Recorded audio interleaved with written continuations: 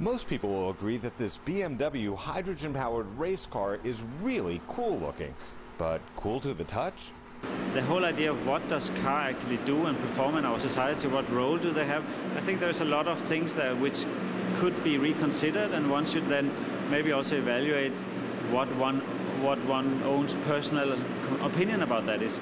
As part of BMW's Art Car program, world-renowned Danish-Icelandic artist Olafur Eliasson was commissioned to transform the H2R from this into this. He removed the car's outer shell and replaced it with steel mesh and many layers of ice. Yes, ice. It's on display inside a specially designed microclimate at the San Francisco Museum of Modern Art we had to put in a big freezer because it's covered in about two tons of ice, and so the, the freezer is necessary to sustain the kind of icy mantle. And uh, this freezer is about 800 square feet. It was custom built for the exhibition. The artist says the trip into the microclimate room also helps remind people about the effect that human beings are having on the environment.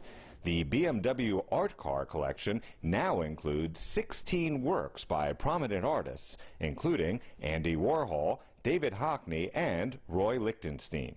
BMW is one of the few independent car companies remaining in the world today, and a hallmark of our success has been being protective of creative expression.